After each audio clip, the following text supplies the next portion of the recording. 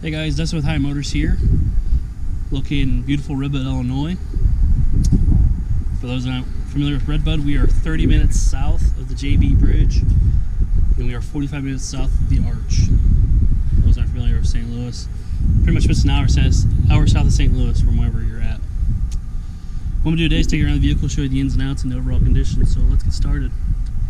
This is a Jeep we traded in here from a, one of our good repeat customers.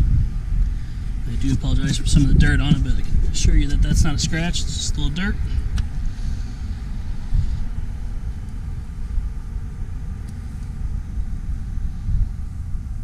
Very clean Jeep.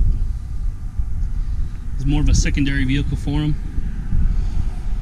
Weekend vehicle, if you will.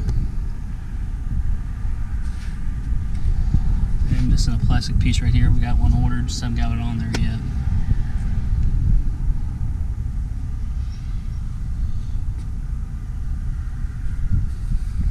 Give me a better look at the wheels.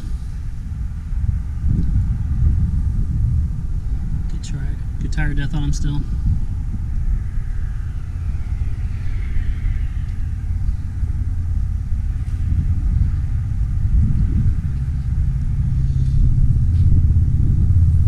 Apologize for here. I'm just getting in right before the sun sets here, so I apologize if it's not the best lighting possible. If you got any any spots this vehicle that you're seeing that you wish you could see a little better, don't hesitate to call or text me.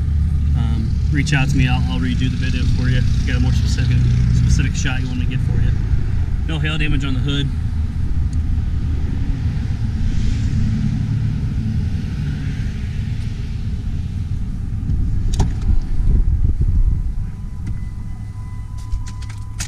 Keys out of there.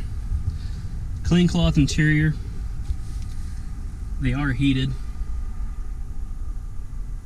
Also equipped with navigation.